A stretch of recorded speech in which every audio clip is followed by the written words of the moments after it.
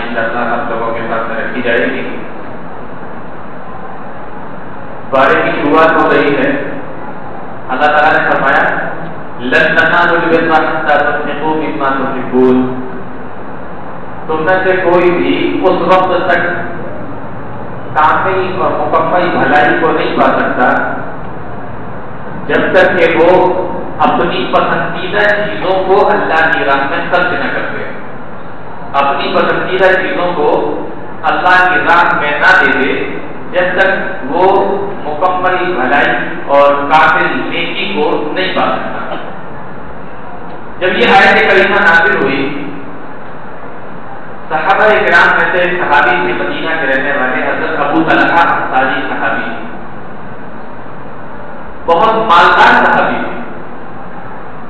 یہ کہتے ہیں کہ میرا ایک باغ تھا بیرہا نام کا ایک باغ تھا حدیثوں کے حضرت کا ذکر ہے کہتے ہیں کہ مجھے اپنے ساری جائیداد سارے مال و دولت میں سب سے زیادہ بڑی بات پسند اور اللہ نے کہا جب تک اپنی پسندیدہ چیز کو اللہ کے سامنے نہ کر دو تب تک تم مکمل طور پہ بھلائی کو نہیں پا سکتے اور وہ وہ باغ جو تھا مسجد نبوی کے ٹھیک سامنے ہے مسجد نبوی کے بالکل سامنے ہے اللہ کے نبی صلی اللہ علیہ وسلم اس باغ میں جایا کرتے تھے، پیڑ کی چھاؤں میں بیٹھا کرتے تھے، وہاں کا ٹھنڈا پانی پیا کرتے تھے اور آپ وہاں تشریف لے جاتے ہیں بلکہ کچھ لوگوں نے تو یہاں سے لکھا ہے کہ وہ باغ سال میں دو مرتبہ پھل دیتا جیسے باغ کے اندر سال میں ایک بار پھل آتا ہے نا جو بھی پیڑ رکھا ہوا لیکن وہ دو بار پھل دیتا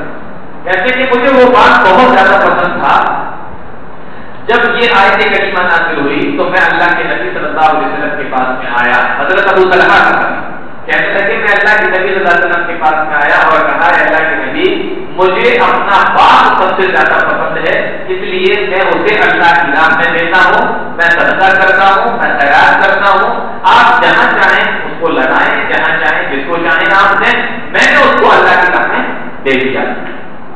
تو جب یہ بات میں نے اللہ کے نبی صلی اللہ علیہ وسلم سے کہی، تو نبی صلی اللہ علیہ وسلم نے فرمایا کہ کا مال مال کا کہ یہ تو بہت ہی نفع بخش سودا ہے۔ یہ تو بہت ہی فائدے کا سودا ہے جو تم نے بار اللہ رب العالمین کے نام میں دے دیا۔ لیکن اللہ کے نبی صلی اللہ علیہ وسلم نے پھر یہ فرمایا کہ یہ تم اپنا بات اپنے رشتے داروں کو دے دو۔ یہ اپنا بات اپنے رشتے داروں کو دے دو۔ اگر آپ چاہیں گے کسی بھی دوسرے مسلمان کو دکھا سکتے تھے۔ لیکن اللہ کے نبی صلی اللہ علیہ وسلم نے کہا کہ تم اپنے رشتے داروں کو دے دو کیونکہ انسان اگر صدقہ کسی اجنبی آدمی کو دے گا، تو اس کو صرف صدقہ کرنے کا ثواب ملے گا۔ لیکن اگر وہی اپنا صدقہ و خیرات اگر اپنے رشتے داروں کو دے گا، تو اس کو ڈبل ثواب ملے گا، کیونکہ ایک صدقہ کرنے کا اور دوسرا دوسرا رشتے داری کو نبھانے کا تو ڈبل ثواب ملے گا۔ اللہ کے نبی صلی اللہ علیہ وسلم نے کہا کہ اپنے رشتے داروں کو دے دو۔ تو حدیث کے اندر آتا ہے کہ انہوں نے اپنے چچیرے بھائیوں میں وہ بات بانٹ دی۔ اس کے بعد اللہ رب العالمین نے آگے فرمایا، ان اول بیت وضع للناس للذي بمكة مبارك وهدى للعالمین. روئے زمین کے اوپر، اس زمین پر سب سے پہلا گھر جو اللہ رب العالمین کی عبادت کے لیے بنایا گیا وہ کون سا گھر تھا، وہ خانہ کعبہ تھا، بیت اللہ تھا، جو مکہ کے اندر موجود ہے۔ صحابی رسول حضرت ابو ذر رضی اللہ تعالیٰ عنہ کہتے ہیں، میں نے اللہ کے نبی صلی اللہ اللہ علیہ وسلم سے سوال کیا، اے اللہ کے نبی، سب سے پہلا گھر کون سا ہے جو اللہ کے لیے بنایا گیا؟ یا ایو مسجد موضع فی الارض اولو کون سی مسجد ہے جو زمین پر سب سے پہلے بنائی گئی اللہ کے نبی صلی اللہ علیہ وسلم نے فرمایا، المسجد الحرام خانہ کعبہ۔ تو میں نے سوال کیا سما پھر اس کے بعد میں کون سی مسجد بنائی گئی؟ اللہ کے نبی صلی اللہ علیہ وسلم نے فرمایا، المسجد الاقصى وہی بیت المقدس۔ تو یہ کہتے ہیں، میں نے پھر سوال کیا۔ کل تو، میں نے کہا، ان دونوں کے درمیان میں کتنا فاصلہ ہے؟ یہ اور یہ کب بنی ہے؟ نبی کریم صلی اللہ علیہ وسلم نے فرمایا اربعون سنتا چالیس سال کی ان دونوں کے درمیان میں مدت سے کم ہے۔ حضرت ابراہیم علیہ السلام جب مکہ ہے اپنے بڑے بیٹے حضرت اسماعیل علیہ السلام کے ساتھ انہوں نے نانا کعبہ کو تعمیر کیا۔ اسماعیل علی مکہ میں رک گئے۔ اور ابراہیم ملک شام واپس چلے گئے۔ اور پھر انہوں نے اپنے دوسرے بیٹے، حضرت اسحاق علیہ السلام کے ساتھ مل کر فلسطین کی سرزمین پر ایک اور گھر بنایا اللہ رب العالمین کے لیے، اور اس کو بیت المقدس کہا جاتا ہے۔ اور اس دونوں کے درمیان میں چالیس سال کی موقع ہے، چالیس سال کی مدت سے چالیس سال پہلے وہ بنایا گیا اور اس کے بعد، چالیس سال کے بعد بیت المقدس بنایا گیا۔ دیکھیے یہاں پہ اللہ نے فرمایا کتنا افضل بیت وزیع للناس للذی ببکہ پہلا گھر بکہ کے اندر بنایا جبکہ بنا کہاں ہے؟ مکہ کے اندر۔ لیکن اللہ نے بکہ کا لفظ استعمال کیا، مکہ کا لفظ استعمال نہیں کیا۔ کیونکہ توریت اور انجیل کے اندر مکہ کا لفظ جو ہے بکہ آیا۔ ہے اور لکھا ہوا ہے کہ جو آخری نبی آئیں گے وہ بکا کے اندر آئیں گے۔ تو اللہ نے یہاں پر استعمال کر کے بتا دیا کہ وہ بکا یہی ہے۔ اگر یہاں مکہ کا لفظ استعمال کرتے تھے، اللہ تعالیٰ کر دیتا، تو وہ اعتراض کرتے کہ تم آپ نے تو یا اللہ نے تو یہ کہا تھا کہ بکا میں آئیں گے، یہ تو مکہ میں آئیں گے۔ تو ان کو اعتراض کرنے کا موقع نہ ملے۔ اس لیے اللہ تعالیٰ نے یہاں قرآن کے اندر ایک جگہ مکہ کو مکہ کا لفظ استعمال کر دیا تاکہ ہمیں معلوم ہو جائے کہ جو مکہ ہے وہی مکہ ہے، جو مکہ ہے وہی۔ اور پکا کے معنی عربی زبان میں ہوتا ہے گردنوں کو توڑ دینے والا۔ بڑے سے بڑا جابر و ظالم۔ بادشاہ بھی اگر وہاں پہنچ جائے تو اس کی بھی گردن جھک جاتی ہے اور وہ بھی اللہ رب العالمین کے سامنے وہاں سجدے میں چلا جاتا ہے، اس لیے اس کو پکڑا ہے۔ اس کے بعد اللہ رب العالمین نے فرمایا یہ یہ گھر ایسا ہے اتنا افضل بیت وضع للناس للذي ببرکہ مبارک ہے اس کو ہم نے برکت دی وہ حضر کے عالمین اور یہ سارے عالم کے لیے ہدایت ہے۔ فيه آیات بینات مقام ابراہیم اور اسی پہ مقام ابراہیم ہے۔ مقام ابراہیم وہ پتھر جب ابراہیم علیہ السلام خانہ کعبہ کو بنا رہے تھے، جیسے جیسے دیوار اونچی ہوتی جاتی، وہ پتھر خود بخود بڑا ہوتا چلا جاتا۔ وہ خود بخود بڑا ہوتا چلا جاتا، وہ پتھر۔ اور اس پہ ابراہیم علیہ السلام کے پیروں کے نشان آج بھی موجود ہیں، جو لوگ حج کرنے جاتے ہیں، انہوں نے دیکھا ہوگا پتھر وہیں پہ رکھا ہوگا۔ اللہ تعالیٰ نے فرمایا، یہ بڑا پیارا ہے۔ وہ بس کا لہو کانا آمینا جو اس کے اندر داخل ہو گیا، اس نے امن پا لیا۔ اگر کسی نے کسی کے باپ کو یا بھائی کو قتل کیا اور اس نے دیکھ لیا کہ یہ حج کرنے کے لیے میرے باپ کا قاتل ہے۔ وہ مارنے کے لیے پیچھے دوڑا۔ وہ اپنی جان بچانے کے لیے کعبہ میں چلا گیا۔ جب تک نکل نکلے گا نہیں، مار نہیں سکتا۔ فرمایا، کہاں آمینا جو آ گیا، وہ وہاں پر امن پا گیا۔ تو امن دینے والی جگہ بھی ہے پھر اللہ نے فرمایا، وَلِلَّهِ عَلَى النَّاسِ حِجُّ الْبَيْتِ مَنِ اسْتَطَاعَ إِلَيْهِ سَبِيلًا۔ اتنی بابرکت جگہ کے بارے میں اللہ فرما رہا ہے۔ وَلِلَّهِ عَلَى النَّاسِ حِجُّ الْبَيْتِ مَنِ اسْتَطَاعَ إِلَيْهِ سَبِيلًا۔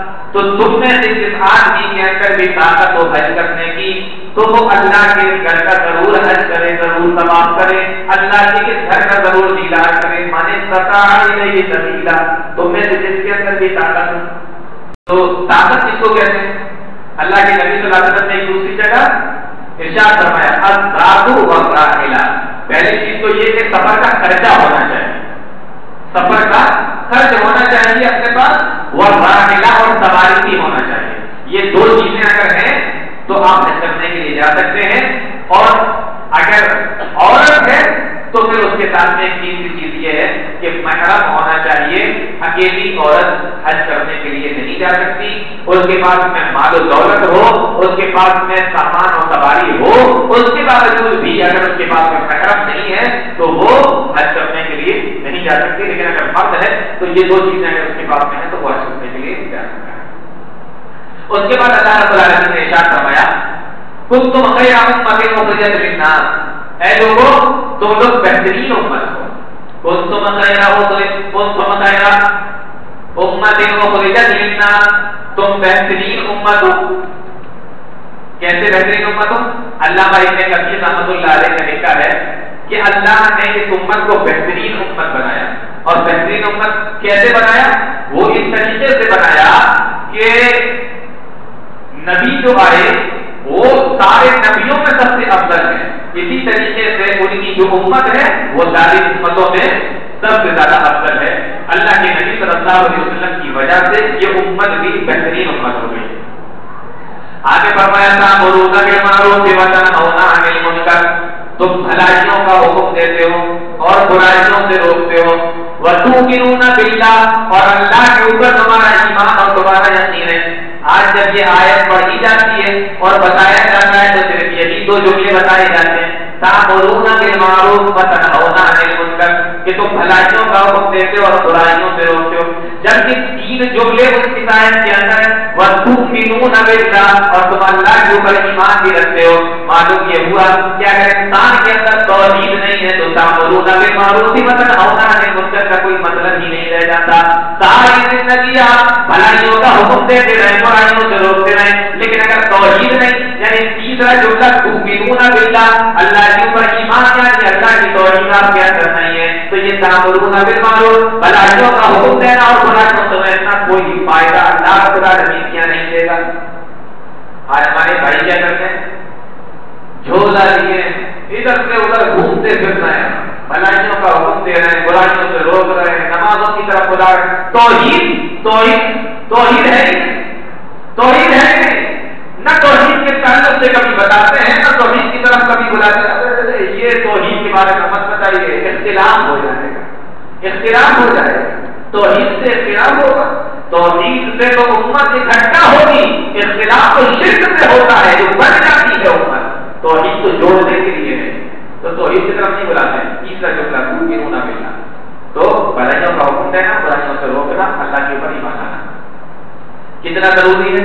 مسلم شریف کی روایت اچھا کرتے ہیں اللہ کے نبی جناب محمد رسول اللہ صلی اللہ علیہ وسلم نے فرماتے ہیں، من رہا منکم منکرن فلیغیرہ بیدیہ اگر کسی برائی کو کوئی آدمی ہوتے ہوئے دیکھے اور اس کے اندر اگر طاقت ہے کہ وہ ہاتھ کے ذریعے سے روک سکتا ہے، تو اس کو ہاتھ کے ذریعے سے روک دے۔ لوگ سے منع کر دے اور اگر اس کو ہاتھ کے ذریعے سے روکنے کی طاقت نہیں ہے تو زبان سے منع کر دے ہاتھ سے روکے گا تو لڑائی چل سکتی ہے، وہ ہاتھ پیر بڑھا سکتا ہے، وہ لڑائی کر سکتا ہے۔ تو زبان ہی سے کم سے کم منع کر دے کہ جو نقصان کر رہے ہو غلط ہے اسلام کے اندر اس کی اجازت نہیں ہے۔ بھائی نبی اندر سے اگر زبان سے بھی منع کرنے کی اس کے اندر طاقت نہیں، تو اللہ کے نبی فرماتے ہیں بھائی نبی تو دل کے اندر اس کام کو برا جان لے۔ وہ ذالک اصحاب ایمان دل سے اگر وہ برا جانتا ہے تو سمجھ لو یہ ایمان کا سب سے کم تک درجہ اس کے اندر پایا جاتا ہے۔ بہت بڑا ایمان والا نہیں ہے وہ۔ اگر وہ بہت بڑا ایمان والا ہوتا تو ہاتھ سے روکتا، زبان سے منع کرتا۔ لیکن وہ کہہ رہا ہے، کون جائے لڑنے کے لیے? ابھی یہ سیدھا ہو جائے گا، مجھے لڑنے لگے گا۔ چلو جو جو کرنا ہے کرنے دو۔ خود ٹاکیاں گھومتے گا ٹاکیاں نکتے گا۔ دل کے اندر تو اللہ کے نبی فرماتے ہیں، دل کے اندر اس کو برا جانا۔ دل کے اندر برا جانے کا مطلب کیا ہے؟ دل کے اندر برا جاننے کا کیا مطلب ہے؟ کیا آپ نے دیکھ لیا یہ برائی، یہ آدمی غلط کام کر رہا ہے، بس۔ نہیں، یہ مطلب نہیں برا مطلب یہ ہے کہ اس برائی کے قریب آپ مت جاؤ کبھی۔ اس برائی کے قریب آپ مت جائیے۔ یہ نہیں کہ آج اس کو کرتے ہوئے دیکھیا تو برا جان دیا کل ہم کو اس برائی کو کرنا ہے تو یہ دل سے بھی برا جاننا نہیں ہوا۔ آپ نے اس لیے نہیں کی تھی ہم نے کیونکہ آپ کو موقع نہیں ملا تھا۔ اور جب آپ کو موقع ملا تو آپ اس کو کر گئے۔ تو فرمایا بازار دیکھا تھا کوئی ایمان دل سے برا جاننے کا مطلب یہ ہے کہ آپ اس برائی کے قریب بن جائیے کبھی یہ سب سے ایمان کا کم تک بن جائے۔ اور ایک حدیث کے اندر اللہ کے نبی صلی اللہ علیہ وسلم نے کیا فرمایا، کل لوگوں کا راعن وکلکم مسئول نامدار جدی ہر آدمی سے اس کے گھر کے بارے میں سوال کیا جائے گا۔ اس کی اولاد کے بارے میں سوال کیا جائے گا۔ اور جس چیز کی ذمہ داری اس کو دے دی گئی ہے، اگر وہ بات آئے تو اس کی رعایا کے بارے میں اس سے سوال کیا جائے گا۔ تمہاری یہ رعایا کیسے پہن گئی تمہاری یہ اولاد کیسے اللہ کے دن سے منہ موڑ کے چلی گئی، یہ تمہاری اولاد بے دین کیسے ہو گئی؟ ہر آدمی سے سوال کیا جائے گا یہاں تک کہ عورتوں سے بھی سوال کیا جائے گا کہ تمہارے گھر کے اندر جو مرد تھے، تمہارے گھر کے اندر جو عورتیں تھی تمہارے گھر کے اندر جو بچے تھے، یہ بے دین کیسے ہو گئے؟ اس لیے بہت ضروری ہے اپنے آپ کو بھی سنبھالنا، سدھارنا اور اپنے گھر والوں کو بھی دین کی طرف دین کی طرف لے کر آنا اس کے آگے اللہ رب العالمین ارشاد فرماتا ہے، یا ایھا الذین آمنوا، لا تتخذوا بطانة من دونکم لا یعلونکم خبالا اے ایمان والو، تم غیر مسلموں سے کاروبار کرو، اٹھو بیٹھو، ان کے ساتھ اسلام روکتا نہیں، منع نہیں کرتا، لیکن ان کو کبھی اپنے دل کی باتیں نہ بتاؤ، اپنے راز کی باتیں ان کو نہ بتاؤ، یہ اسلام حکم دے رہا ہے۔ یا ایوہ الذین آمنوا لا تتخذوا بطانة من دونکم لا یعلونکم خبالا تم اپنے دل کی باتیں دل کے رازوں کو نہ بتاؤ کیوں نہ بتاؤ۔ اللہ فرماتا ہے، کل بدأ بغضاء من افواہہم جب بھی ان کو موقع ملے گا، تو وہ تمہارے خلاف اپنی زبانوں سے زہر اگلیں گے۔ اور جتنا زہر وہ اپنی زبانوں سے اگلیں گے، اللہ فرماتا ہے، وما تخفی صدورهم اکبر اور اس سے زیادہ زہر ان کے دل کے اندر چھپا ہوا ہے۔ جتنا وہ زبان سے کہہ رہے ہیں اس سے زیادہ زہر ان کے دل کے اندر چھپا ہوا ہے۔ اس لیے کبھی اپنے دل کی اپنے راز کی باتیں ان کے سامنے مت کرو۔ حضرت عمر فاروق رضی اللہ تعالیٰ جب مسلمانوں کے بادشاہ ہوئے خلیفہ ہوئے، تو ان کے سامنے ایک غلام کا تذکرہ کیا گیا اور بتایا کہ ایرا کا رہنے والا ایک عیسائی غلام ہے، بہت ذہین ہے، بہت پڑھا لکھا ہے لکھنا بہت اچھا ہے۔ بہترین کاتب ہے۔ آپ اس کو اپنا منشی رکھ لیجیے حکومت کے کام سنبھالتا رہے گا۔ حضرت عمر فاروق نے کسی آیت کے اوپر استدراج کرتے ہوئے جواب دیا، تم کیا چاہتے ہو؟ میں مسلمانوں کی حکومت کی باتیں اس کو بتا دو مسلمانوں کی حکومت کی راز کی باتیں میں اس کو بتا دوں۔ اگر میں اس کو منشی بنا دوں گا، تو سب اس سے لکھوانا پڑے گا۔ اور اس کو ساری باتیں پتا چل جائیں گی جو بھی حکومت کی اور مسلمانوں کی باتیں اس لیے میں اس کو منشی نہیں بنا سکتا یہاں سے پھر اس کے بعد اللہ رب العالمین نے جنگ بدر اور جنگ عہد کا تذکرہ کیا۔ اور کئی آیتوں کے اندر جنگ عہد کا تذکرہ اللہ رب العالمین نے کیا۔ جنگ عہد آپ جانتے ہیں؟ سن تین ہجری میں، تین ہجری میں شوال کے مہینے میں شوال کا مہینہ کون سا ہوتا ہے؟ جس میں ہم آپ لوگ عید مناتے ہیں۔ اس مہینے میں مسلمانوں کی اور مشرقین کی جنگ ہوئی۔ تھی اس جنگ کا تذکرہ اللہ رب نے کیا۔ اور یہ وہی جنگ ہے جس جنگ کے اندر ستر صحابہ شہید کر دیے گئے یہ وہی جنگ ہے جس جنگ کے اندر اللہ کے نبی صلی اللہ علیہ وسلم کے اوپر تلوار سے آپ کے چہرے پہ حملہ کیا گیا تھا، جس کی وجہ سے آپ کا تھوڑا سا کال نکٹ گیا تھا۔ وہ تو لوہے کا کوٹ پہنے ہوئے تھے۔ جو لوہے کی ٹوپی ہوتی ہے، اس کو پہنے ہوئے تھے کی وجہ سے۔ آپ کا چہرہ بچ گیا ورنہ چہرہ کٹ جاتا۔ یہ وہی جنگ ہے جس جنگ کے اندر ایک مشرق نے پتھر پھینک کر اللہ کے نبی صلی اللہ علیہ وسلم کو مارا تھا، جس کی وجہ سے آپ کا دستان مبارک شہید ہو گیا تھا۔ تو یہ مہینے میں اللہ کے نبی صلی اللہ علیہ وسلم کے جب پتھر لگا تھا تو بے ہوش ہو کے اللہ کے نبی صلی اللہ علیہ وسلم زمین سے گر پڑے تھے۔ اسی جنگ کے اندر ایک صحابی رسول ہے جس کا نام ہے مصعب ابن عمر ایک کافر آ کے آیا اور بھاگتا ہوا آیا اس نے آ کے تلوار سے حملہ کیا مصعب ابن عمر کے اوپر جب تلوار سے حملہ ہوا مصعب ابن عمر شہید ہو کر زمین پر گر پڑے اور جیسے ہی مصعب ابن عمر زمین پر گرے ادھر اللہ کے نبی صلی اللہ علیہ وسلم کے اوپر پتھر سے حملہ کیا گیا نبی بے ہوش ہو کے ادھر مصعب ابن عمر شہید ہو کے اور بہت یقین نے لکھا ہے کہ مصعب ابن عمر کی شکل اللہ کے نبی صلی اللہ علیہ وسلم سے ملتی جلتی تھی۔ ادھر نبی بے ہوش ہو کر گرے شیطان نے آواز لگائی، او لوگوں، کچھ ہو جاؤ۔ آج محمد رسول اللہ صلی اللہ علیہ وسلم کو مار دیا گیا، شہید کر دیا گیا۔ ادھر شیطان نے آواز لگائی اور ادھر اس مشرق نے کافر نے آواز لگائی جس نے مصعب ابن عمر کو شہید کیا تھا۔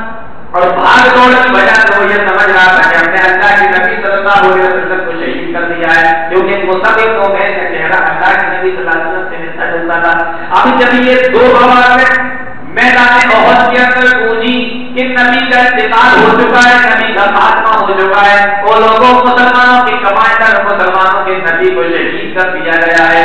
جب یہ آواز مسلمانوں نے اپنے کانوں سے سنی ستر صحابہ تو پہلے ہی شہید ہو چکے تھے۔ جو باقی بچے تھے انہوں نے بھی اپنی تلواریں زمین پر رکھ دی اور کہنے لگے، کیا لڑنے سے کیا فائدہ؟ جس کے لیے لڑنے آئے تھے وہ تو دنیا کے اندر رہا ہی نہیں ہے۔ اب ہم لڑکے کریں گے کیا؟ ہم کس کی سب میں کھڑے ہو کے لڑیں گے؟ جس کے ساتھ میں لڑنے کے لیے آئے تھے وہ تو دنیا میں رہا ہی نہیں۔ اور کچھ لوگوں نے مسلمانوں میں نے یہ کہا کہ جب نبی نے اللہ کی راہ میں اپنی جان دے دی تو ہم بھی اللہ اللہ کی راہ میں اپنی جان دے دیں گے اب دنیا میں رہنے سے ہمارا کیا فائدہ؟ اس جنگ کے اندر۔ اللہ رب العالمین اس جنگ کے اندر جس میں صحابہ کو خود اللہ کے نبی صلی اللہ علیہ وسلم کو اتنی پریشانیاں اٹھانا پڑی ہوں، حدیث کے الفاظ میں اللہ کے نبی صلی اللہ علیہ وسلم کو جب ہو جایا، آپ نے فرمایا کہ ایسی قوم کیسے کامیاب ہو سکتی ہے جس نے اپنے نبی کو زخمی کر دیا ہو؟ اور بخاری اور مسلم کی روایت ہے، اللہ کے نبی صلی اللہ علیہ وسلم نے اس مشرقین کا نام لے لے کر فجر کی نماز کے بعد نماز کے اندر ان کے لیے بد دعائیں فرمائیں۔ بخاری کی روایت نام لے لے کر اللہ کے نبی نے بد دعا فرمائی۔ آسمان سے جبرائیل اپنی وحی لے کر آ گئے۔ اور فرمایا لیس لک من الامر شیء او یتوب علیہم۔ اے نبی، یہ آپ کا معاملہ نہیں ہے۔ آپ جس کے اوپر چاہے پر دعا کرنے لگے۔ اور آپ جس کے بارے میں چاہے پر دعا کریں۔ آپ جس کے اوپر چاہے لعنت بھیجنے لگے اے نبی، یہ آپ کا معاملہ نہیں ہے۔ یہ میرا معاملہ ہے۔ میں جب حکم دوں گا، تب آپ ان کے لیے میں دعا کرنا۔ جن کے لیے میں کہوں گا، ان کے اوپر آپ لعنت بھیجنا۔ جن کے لیے میں کہوں گا، ان کے اوپر میں دعا کرنا۔ آپ اپنی مرضی سے اپنے دشمن کے اوپر نہ لعنت بھیج سکتے ہیں، نہ بد دعا کر سکتے ہیں۔ یہ اللہ کے نبی صلی اللہ علیہ وسلم کا معاملہ اللہ فرماتا ہے، یہ میرا معاملہ ہے، مجھے میں جب تک اجازت نہیں دوں آپ لعنت نہیں بھیج سکتے، میں جب تک اجازت نہیں دوں جب تک آپ ان کے لیے بد دعا نہیں کر سکتے۔ اللہ کے نبی صلی اللہ علیہ وسلم کو بتایا جا رہا ہے اور اللہ فرماتا ہے، اگر میں چاہوں تو ان کو توبہ کی توفیق دے دوں اور ان کو جنتی بنا دوں اور اگر میں چاہوں تو ان کے کرتوتوں کی وجہ سے ان کو اپنے عذاب کے اندر گرفتار کر دوں یہ میرا معاملہ ہے۔ معلوم یہ ہوا کہ آج جنہوں نے نبی کو کو مختار کل بنا دیا اور جو یہ کہتے ہیں کہ اللہ کے نبی مختار کل تھے جو چاہے کر سکتے تھے یہ آیت کریمہ بتا رہے ہیں کہ اپنی مرضی سے نبی کسی کے اوپر بد دعا بھی نہیں کر سکتے، اپنے دشمن کے اوپر بھی بد دعا نہیں کر سکتے۔ اور صحابی جنہوں نے تقیل کو بیان کیا، وہ بیان فرماتے ہیں، اللہ رب العالمین نے جب نبی کو بد دعا کرنے سے منع کر دیا، نبی نے ان کے لیے بد دعا کرنا بند کر دی۔ اور صحابی بیان فرماتے ہیں، جن لوگوں کا نام لے لے کر اللہ کے نبی صلی اللہ علیہ وسلم بد دعا فرما رہے تھے، ابھی تھوڑا سا ٹائم گزرا تھا، تھوڑا سا وقت گزرا تھا، وہی سارے لوگ جن کا نام لے کر مدینہ میں دعا کی تھی، وہ نبی کریم جب اگلی جنگ آئی تو وہ سارے کے سارے اللہ کے نبی صلی اللہ علیہ وسلم کے ساتھ میں آپ کی سب میں کھڑے ہوئے تھے اور نبی کریم جناب محمد رسول اللہ صلی اللہ علیہ وسلم کے دشمنوں سے جنگ کر رہے تھے۔ یہ اللہ رب العالمین کی قدرت سے کامل ہے۔ کہا کہ آپ جس کے اوپر چاہے بدوا کرتے ہیں ایسا نہیں ہو سکتا نہیں پتہ کا میرا نام شہر سے پتہ چلتا ہے کہ نبی مختار کل مختار کل نہیں تھے، مختار کل کہ جو چاہے کام کر سکتے ہیں، نہیں، اللہ رب العالمین جیسا حکم نہیں دیتا۔ صحابی بیان کرتے ہیں، وہی سارے لوگ جس کا نام لے لے کر اللہ کے نبی نے بدوا کی تھی، وہ اگلی جنگ میں نبی کے سب میں کھڑے ہوئے تھے اور نبی کے دشمنوں سے جنگ کر رہے ہیں۔ جس کا نام لے لے کر نبی نے بدوا کی اس کے بعد اللہ رب العالمین نے فرمایا، بڑی پیاری ہے۔ فرمایا، وسارعوا الى مغفرة من ربكم۔ وجنة عرضها السماوات والارض اے لوگوں اللہ رب العالمین کی مغفرت کی طرف دوڑو اور اللہ رب العالمین کی جنت کی طرف دوڑو۔ پہلے مغفرت کا تذکرہ، اس کے بعد میں جنت کا تذکرہ۔ یعنی استغفار کرتے رہو، مغفرت اللہ رب العالمین سے مانگتے رہو۔ اللہ رب العالمین جنت تمہیں دے دے گا۔ کیسی جنت؟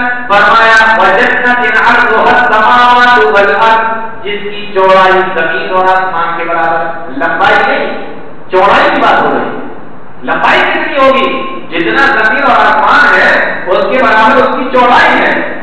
لمبائی کی بات نہیں ہو رہی۔ ایک دیہاتی اللہ کے نبی صلی اللہ علیہ وسلم کے پاس میں بیٹھا ہوا تھا۔ اس نے سنا کہ جنت کی چوڑائی اتنی ہے جتنی کہ یہ پورا برہمانڈ ہے، یہ پورا زمین اور آسمان ہے۔ اب دیکھیے، گاؤں کا رہنے والا تھا۔ جیسے گاؤں کے لوگ سیدھے سادے ہوتے ہیں، ویسے ان کے سوال بھی ہوتے ہیں۔ کہنے لگا کہ اللہ کے نبی اگر جنت اتنی بڑی ہے کہ زمین اور آسمان پورا سما جائے اس کے اندر، تو پھر جہنت کہاں پر ہے؟ جہنت کہاں ہے؟ جبکہ حکم یہ ہے کہ جنت بھی اللہ نے بنا کے تیار کر دی ہے اور جہنت بھی بنا کر تیار ہو چکی ہے۔ تو جب زمین و آسمان کو تو جنت نے گھیر دیا تو پھر جہنت کہاں ہے؟ اللہ کے نبی صلی اللہ علیہ وسلم فرماتے ہیں، یہ بتاؤ، جب رات آتی ہے تو دن کہاں چلا جاتا ہے؟ اور جب دن آتا ہے تو رات کہاں چلی جاتی ہے؟ وہ تو اللہ جانتا ہے۔ اور اللہ دن لے آتا ہے تو رات کا پتہ نہیں چلتا اور جب رات آتی تو دن کا پتا اللہ رب العالمین ایسے ہی جنت کی چوڑائی ضرور کبھی تو آسمان کے برابر ہے، لیکن اللہ چاہے تو اپنے جہنم کو بھی کہیں نہ کہیں کر سکتا ہے۔ اس کے بعد اللہ رب العالمین نے ایک آیت کریمہ نازل فرمائی اس میں دیکھیے کتنا بڑا عقیدہ اللہ کے اللہ رب العالمین بیان فرمایا یہ بھی اور آیت نازل ہوئی تھی اسی موقع پر۔ جب اللہ کے نبی صلی اللہ علیہ وسلم بے ہوش ہو کے زمین پہ گرے، لوگوں نے اپنی تلواریں زمین پہ رکھی اور کہا کہ ہم لڑنے سے کوئی فائدہ نہیں۔ آسمان سے آیت نازل ہوئی وما محمد الا رسول۔ او لوگوں اللہ کے رسول صلی اللہ علیہ وسلم محمد صلی اللہ علیہ وسلم اللہ کے رسول ہیں۔ قد خلق من قبله الرسل۔ اور آپ سے پہلے بھی بہت سارے اس دنیا کے اندر آئے، اب آئی ماں تاؤ کو دے قدم تو مانا آقا بے دیکھو اگر ان کا انتقال ہو جائے، اگر ان کی موت آ جائے، یا ان کو شہید کر دیا جائے، تو کیا تم اپنی ایڑیوں کے بل پیچھے پلٹ جاؤ گے چلے جاؤ گے ایڑیوں کے بل؟ اللہ نے فرمایا، اگر ایسا کرو گے، نہیں یا ظلم، اللہ چاہیے تم اللہ کا کچھ نہیں بگاڑو گے اپنا نقصان کر لو۔ گے صحابہ کرام کے اوپر یہ حالت آ رہی تھی۔ اللہ رب العالمین نے یہ ایسی کڑی بھیجی تو یہاں پر اللہ نے اپنے نبی کے لیے موت کا لفظ استعمال کیا۔ ہمارے بھائیوں کو بڑی پریشانی ہوتی ہے جب یہ لفظ استعمال کر دیتے ہیں۔ یہ دیکھیے بہابی غصہ کہہ رہا کہ نبی مر گئے؟ نبی کو موت آ گئی۔ بہابی نہیں کہہ رہے ہیں، وہابی بتا رہے ہیں کہ اللہ کہہ رہا ہے۔ اللہ رب العالمین نے فرمایا۔ اور صرف اللہ رب العالمین ہی نے نہیں استعمال کیا اس لفظ کو۔ اس لفظ کو حضرت ابو بکر صدیق رضی اللہ تعالیٰ عنہ نے استعمال کیا بخاری کی روایت ہے اللہ کے نبی صلی اللہ علیہ وسلم کا جب انتقال ہو گیا حضرت عمر فاروق رضی اللہ تعالیٰ تلوار لے کر مسجد نبی کے اندر ٹہل رہے مدینہ کی گلیوں میں ٹہل رہے اور کہہ رہے ہیں کہ جس نے یہ کہہ دیا کہ نبی کی موت ہو گئی نبی کی وفات ہو گئی نبی کا انتقال ہو گیا اس کی گھٹن بنا دے کے اللہ کے نبی صلی اللہ علیہ وسلم کچھ دنوں کے لیے اللہ کے پاس گئے ہیں جیسے موسیٰ علیہ الصلوۃ والسلام چالیس دن کے لیے کوئی دور میں گئے تھے اسی طریقے سے اللہ کے نبی گئے اور وہ واپس آ جائیں حضرت ابو بکر صدیق رضی اللہ تعالیٰ عنہ نے جب یہ بات سنی، آپ نے خطبہ دیا مسجد نبی کے اندر فرمایا کہ اے عمر سنو اور اے لوگ سنو، من کان منکم یعبد محمدا فإن محمدا قد مات ومن كان يعبد الله فإن الله حي لا يموت جو محمد رسول اللہ صلی اللہ علیہ وسلم کی عبادت کرتا تھا، تو سمجھ لو کہ اللہ رسول اللہ کے نبی صلی اللہ علیہ وسلم کا انتقال ہو چکا ہے موت ہو چکی ہے۔ وہ من کان یعبد اللہ اور جو اللہ کی عبادت کرتا تھا، فإن الله حي لا يموت۔ تو اللہ ہمیشہ زندہ رہنے والا ہے تو کبھی موت نہیں آئے گی۔ یہ بتایا اللہ رب العالمین نے۔ قرآن کریم کی ہدایت کرتا ہے۔ تو حضرت ابو بکر نے بھی یہ لفظ استعمال کیا، اللہ کے نبی صلی اللہ علیہ وسلم کے لیے۔ صحابہ کرام بیان کرتے ہیں، یہ آیت کریمہ تو جنگ عہد کے موقع میں نازل ہوئی تھی، لیکن جب ابو بکر نے سات سال کے بعد نبی کے انتقال کے موقع پہ پڑھا تو ایسا معلوم ہو رہا تھا جیسے یہ آیت کریمہ آج ہی نازل ہوئی ہو پھر اس کے بعد دیکھیے، اللہ رب العالمین نے اپنے نبی کی ایک صفت بیان کروائی ایک خوبی بیان کروائی اور وہ یہ کہا وہ بیمار رحمت من اللہ کے طرف اے نبی آپ اپنے رب کی رحمت سے، اللہ کی رحمت سے بڑے نرم دل بہت نرم مزاج ہیں، نرم دل۔ کا اور اگر آپ سخت زبان ہوتے غلیظ کا غلی لگ اور اگر آپ سخت دل ہوتے، لگ بھگ من تو یہ جو صحابہ کرام کی جماعت آپ اپنے پاس دیکھ رہے ہیں، اپنی جانوں کا ڈرانا اپنی اولادوں کو قربان کر رہے ہیں، مالوں کو دے رہے ہیں اور اپنے گھروں کو چھوڑ کے آ رہے ہیں، آپ کے آگل بگل آپ کے ارد ہے لٹ بدو بن اگر آپ سب زبان ہوتے سب فکر ہوتے، تو یہ سارے کے سارے آپ کے ارد گرد یہاں پہ جمع نہیں ہوتے۔ یعنی کہ اللہ کے نبی صلی اللہ علیہ وسلم بڑے نرم میں جائیں اس کے بعد اللہ تعالیٰ العالمین نے آیت کریمہ چل کر اپنے نبی کی ایک اور تعریف کی ہے اور ایک اور خوبی بیان کی اللہ فرماتا ہے، لقد من اللہ على المؤمنین اذ بعث فيهم رسولا۔ اے لوگوں ہم نے مومنوں کے اوپر احسان کیا اور صرف مومنوں کے اوپر ہی نہیں، بلکہ ساری دنیا کے لوگوں کے اوپر اللہ نے احسان کیا۔ اللہ فرماتا ہے، لقد من اللہ علی المؤمنین اے لوگوں ہم نے تمہارے اوپر احسان کیا۔ اذ بعث فیہم رسولا من انفسہم ہم نے تمہارے اندر تمہیں سے ایک رسول کو جو بھیج دیا ہے یعنی جناب محمد رسول اللہ صلی اللہ علیہ وسلم کو۔ ہم نے جو تمہارے اندر بھیج دیا، یہ ہم نے تمہارے اوپر احسان کیا۔ ہے آپ غور کیجیے اللہ رب العالمین نے کتنی نعمتیں ہمیں اور آپ کو دی ہیں، کتنا نوازا ہے۔ اللہ رب العالمین نے اولاد کی تو احسان نہیں جتایا، مال و دولت کی تو احسان نہیں جتایا، زمین و جائیداد کی تو احسان نہیں جتایا اور احسان کب جتایا؟ جب اپنے نبی جناب محمد رسول اللہ صلی اللہ علیہ وسلم کو اس دنیا کے اندر بھیج دیا، اس سے پتہ چلتا ہے کہ نبی کا کتنا بڑا مقام مرتبہ ہوگا۔ کہ اللہ نے نعمت کے احسان نہیں جتایا، لیکن جب نبی کو بھیجا تو بطور احسان اللہ رب العالمین کہہ رہا ہے کہ ہم نے تمہارے اوپر احسان کیا کہ تمہارے اندر اپنے نبی کو بھیج دیا، اس سے اندازہ ہوتا ہے کہ ہمارے نبی کا کتنا بڑا مقام و مرتبہ ہے اور اس سے پتہ چلتا ہے کہ نبی کا مقام و مرتبہ کیا ہے۔ لیکن آج ہمارے بھائیوں نے نبی کے مقام و مرتبے کو گھٹا دیا اور آج نبی کے مقام و مرتبے کو اتنا گھٹایا کہ اماموں کا مرتبہ ان سے آگے نکال دیا۔ اماموں کی بات کو ان سے آگے نکال دیا آپ کسی کو سنائیے کہ یہ نبی کا فرمان ہے، یہ نبی کی حدیث ہے۔ تو وہ کہیں گے، ٹھیک ہے، نبی کا فرمان ہے، لیکن ہمارے مسلک میں نہیں ہے۔ ہمارے امام نے نہیں کہا ہے۔ ہمارے امام نے کہا ہوتا تو ہم مان لیتے۔ نبی کہہ رہے ہیں تو نہیں مانیں گے۔ امام کہہ رہے ہوتے تو مان لیتے۔ ہمارے مسلک میں نہیں ہے، اس لیے ہم اس کو نہیں مانیں گے تو مقام مرتبے کو بڑھایا ہے گھٹا دیا۔ ایک قوم نے اتنا بڑھایا کہ اللہ بنا دیا اور دوسرے قوم نے اتنا گھٹایا کہ اپنے امام کے برابر بھی کر اللہ اور یہاں پر ایک بات اور بتا دوں آپ کو۔ اللہ تعالیٰ نے فرمایا، لقد من اللہ علی المؤمنین اذ بعث فیہم رسولا من انفسہم ہم نے انہی کے اندر ایک رسول بھیجا۔ یہ جملہ غور کرنا۔ ہم نے انہی کے اندر ایک رسول بھیجا یعنی عرب کے اندر اللہ کے نبی صلی اللہ علیہ وسلم آئے آپ کے والدین بھی تھے آپ کے ماں باپ بھی تھے اور اللہ فرماتا ہے کہ جتنے بھی رسول نے آپ سے پہلے بھیجے وہ سب اپنی اپنی بستی کے اندر ہی ہوا کرتے تھے اور وہ اسی بستی کے ہوا کرتے تھے جو ہم نبی بھیجا کرتے تھے اور وہ سارے نبی کھانا بھی کھایا کرتے تھے بازاروں میں جگہ بھی کرتے تھے سارے کام کیا کرتے تھے اللہ یہ بتانا چاہ رہا ہے کہ ہم نے جتنے بھی نبی بھیجے، جتنے بھی رسول بھیجے، وہ سارے کے سارے بشر سے کوئی پریشان نہیں تھا، کوئی نور نہیں تھا۔ جیسا کہ ہمارے بھائیوں کا عقیدہ ہے کہ نور سے اللہ کے نبی ملا اگر نور ہوتے تو کھانا نہیں کھاتے۔ کوئی بتائے جبرائیل علیہ السلام کتنے ٹائم کا کھانا کھاتے ہیں؟ کوئی بتا سکتا ہے؟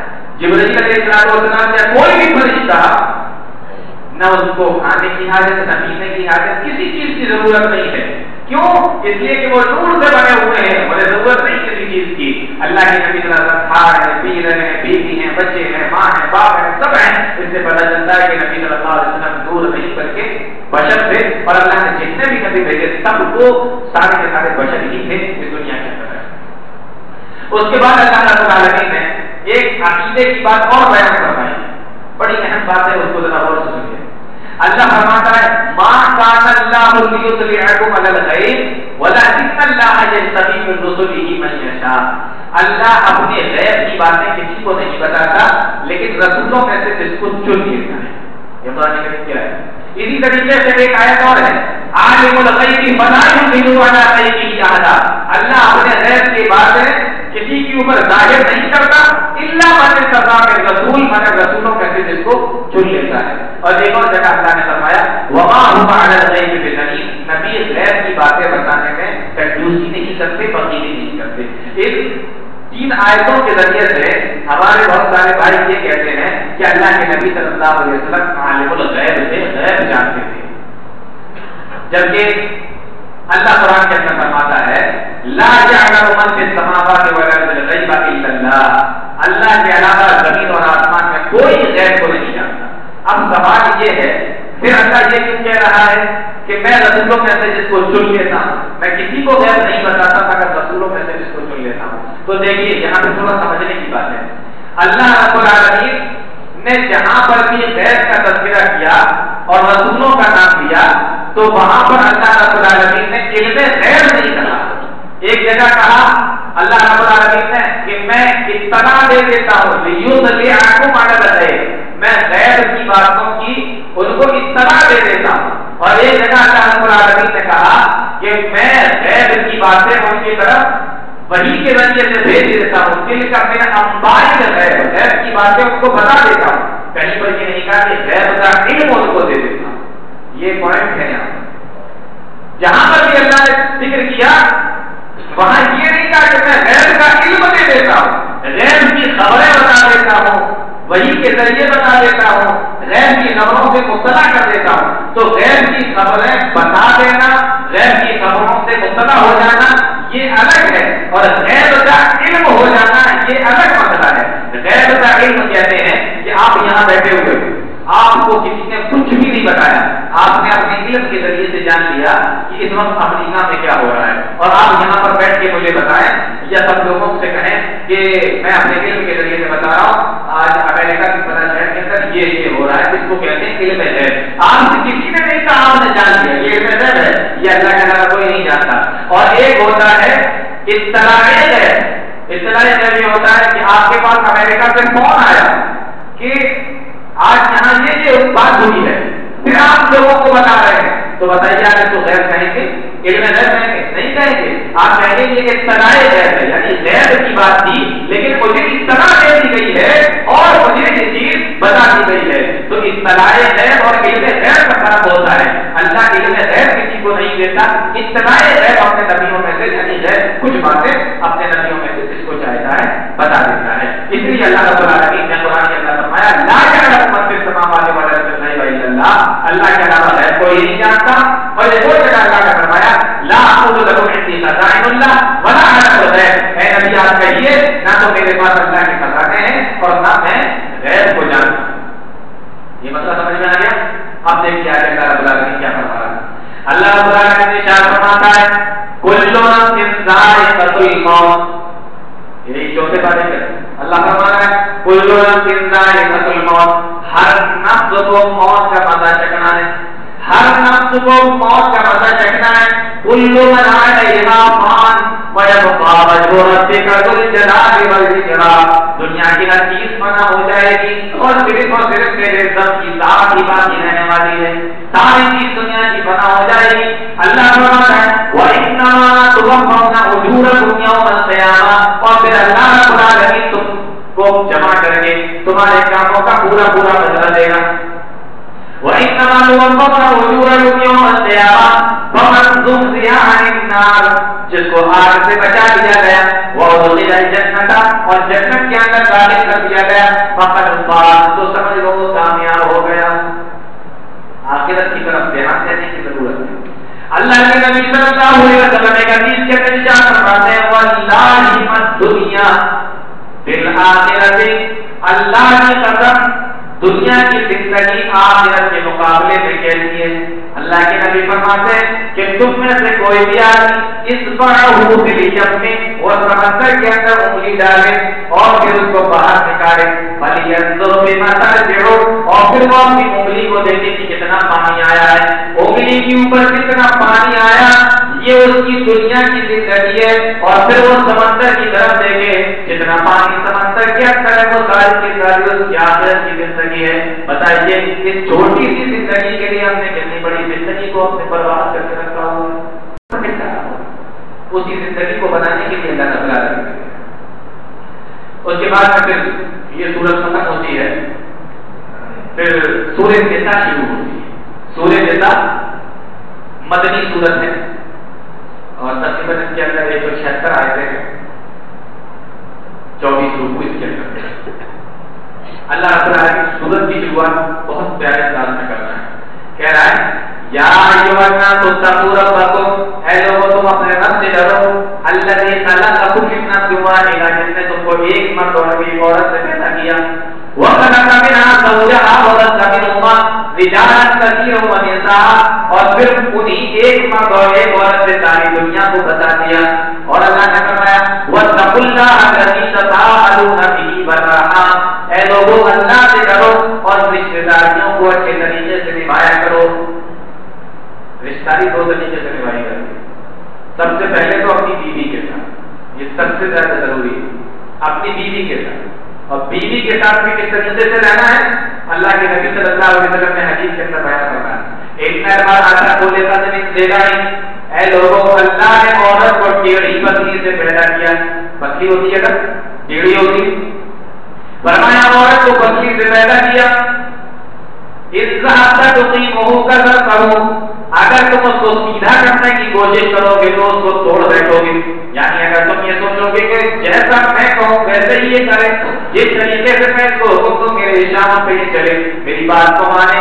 اللہ کے نبی فرماتے ہیں تو برابر تمہارے درمیان میں جھگڑا ہوتا رہے گا اور بات طلاق پہ آ جائے گی طلاق ہو جائے گی یعنی تم اس کو توڑ بیٹھو گے۔ کیوں کہ اللہ نے اس کو پتلی سے پیدا کیا اور پتلی ٹیڑھی ہوتی ہے۔ پھر کیا کیا جائے؟ اللہ کے نبی صلی اللہ علیہ وسلم نے اس کا نسخہ بھی بتا دیا اور آپ نے فرمایا اے لوگوں تم اپنی بیویوں کے ساتھ میں اچھے طریقے سے پیش آؤ، اچھے انداز سے پیش آؤ، ان کے ساتھ میں پیار محبت کا معاملہ کرو۔ جب تم ان کے ساتھ میں اچھے طریقے سے پیش آؤ گے پیار محبت کے ساتھ میں ان کے ساتھ میں رہو گے تو بھلے ہی انسان اس کو ٹیڑھی پتلی سے پیدا کیا ہو، لیکن وہی ٹیڑھی پتلی سے پیدا ہونے والی تمہاری پیار و محبت کو دیکھ کر تمہاری فرما بردار بن جائے گی۔ اگر بیویوں کو سدھارنا ہو، اور اگر ان کے دلوں میں اپنی جگہ بنانا ہو، تو اللہ رب العالمین نے اور اس کے نبی نے جو نسخہ بتایا ہے، اس کو آپ مانو سے وَاتَّقُوا اللَّهَ الَّذِي تَسَاءَلُونَ۔ یہ تو ہو گیا بیوی کے ساتھ۔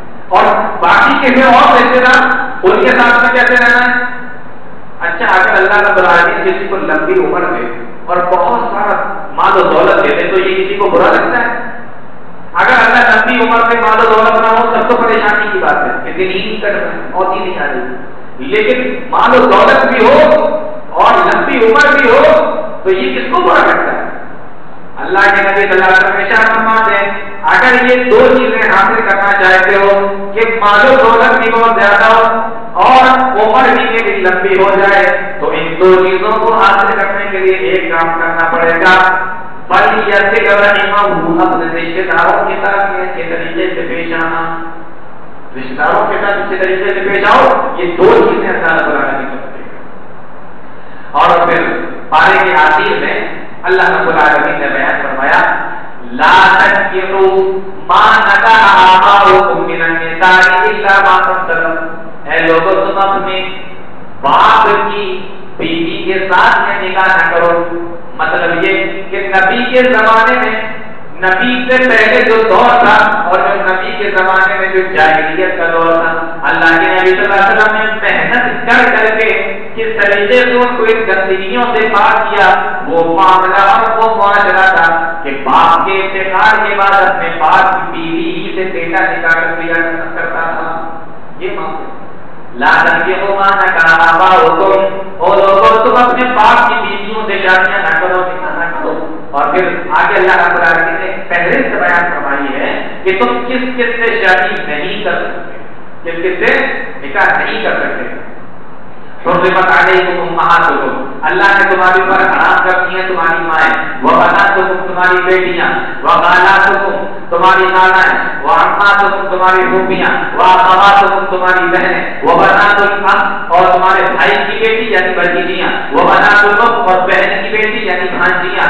اور وہ امہاتکم اللہ کی ارزانکم اور ایسی عورت بھی تمہارے لیے حرام ہے جس کا تم نے بچپنے میں دودھ پیا یعنی رضائی ماں اس طریقے سے اللہ رب العالمین نے ایک لسٹ بیان فرمائی کہ کون کون سی عورتیں تمہاری عمر خراب کر دی گئی ہیں اور آگے میں فرمایا فرمایا وَأَن تَجْمَعُوا بَيْنَ اور دو بہنوں کو بھی ایک ساتھ نہیں رکھ سکتے۔ معلوم یہ ہوا کہ اس زمانے میں باپ کی بیوی سے بھی شادی کر لیتے تھے، دو بہنوں کو بھی ایک ساتھ اپنے پاس نہ رکھ لیتے تھے۔